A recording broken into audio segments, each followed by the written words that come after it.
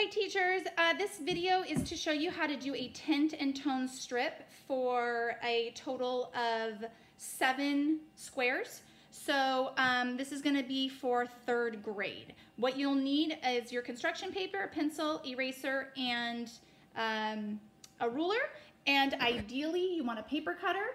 If you don't have a paper cutter, you can do scissors, but it just takes a lot longer with scissors. So I highly recommend um, using a paper cutter for this. What you're gonna do is you're gonna take your construction paper and this piece of construction paper right here is gonna give you eight um, tint and tone strips. So let's just say to make the math easier, well actually, yeah, you have 28 kids for third grade this year. So you are going to take 28, divide it by eight, and that gets you uh, four, three and a half. So you would actually have to make um, I would suggest, I would recommend just doing four pieces of construction paper and then having some tint and tone strips left over for you for next year.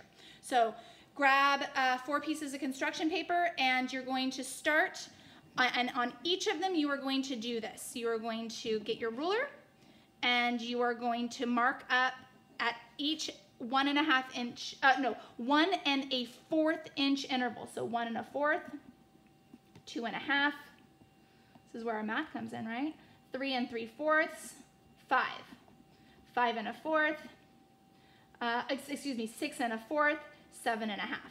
Okay, so we're gonna do those one, two, three, four, five, six little um, uh, marks. Then you're gonna go in the middle of your paper and do the same thing.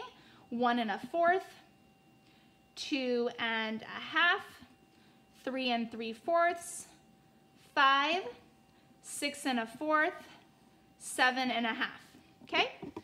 Now you're going to, with your ruler, I'm gonna go sideways for you. With your ruler, you are going to connect those two little marks you made and make a straight line going across. Okay, one, um, two, three,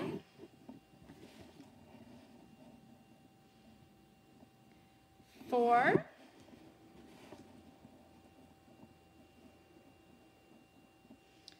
five, six, six lines, okay? And then what you're going to do, actually, I kind of thought of something just now. This right here, that last one, is, is about um, uh, almost a half an inch too long. So for that last one, go ahead and do an inch and a fourth line, uh, an inch and a fourth measurement as well. And this is what we're gonna do. We're just gonna cut that off and not use it. So I'm improvising here on my instructions.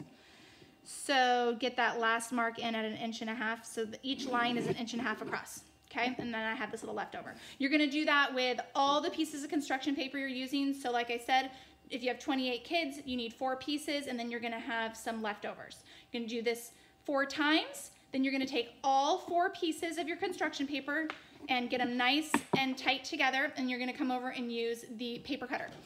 And I kind of have to pick this up and put it down to show you because I need two hands with the paper cutter.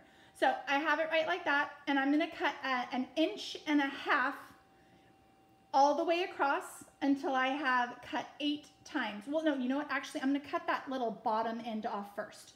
So here we go lift that up, and here we go. So this is what I just cut off. I just cut that little strip off and that is uh, of no use. So that strip is gone. And now I have, there we go. Now I have it running across like that. And I'm gonna cut across an inch and a half. Show you the first one. An inch and a half looks like this.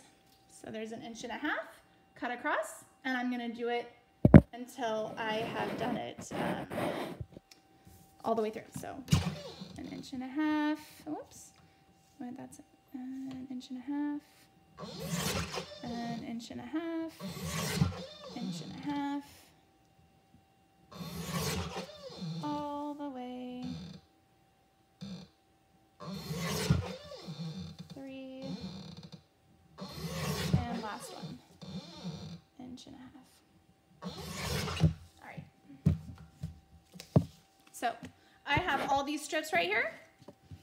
uh, you would have, I only did one piece of paper, you would have this uh, times uh, four, right?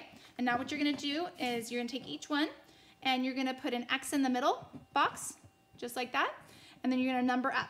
In the first box, one, two, three, one, two, three going up, four, five, six going down.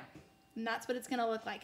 The idea is, um, uh, let's say we're using, we're gonna be using purple. Uh, we're gonna put our pure purple on the X and then we're gonna tint and tone it. We're gonna add a little bit of white paint here, a little bit more and a little bit more. So it's gonna, the um, purple is gonna get lighter and lighter and lighter going up. Then going down, we're gonna add a little bit of black, a little bit more black, and a little bit more black, and it's gonna get darker and darker purple. So you'll see that in my instructional video. This is just to prep your materials. And uh, good luck. And if you have any feedback for me whatsoever in regards to the lessons that I'm teaching or the material prep, I am very um, welcome to hear it. So um, thank you guys. And um, I know it takes a lot of work to do this prep. So uh, I do thank you for all your time.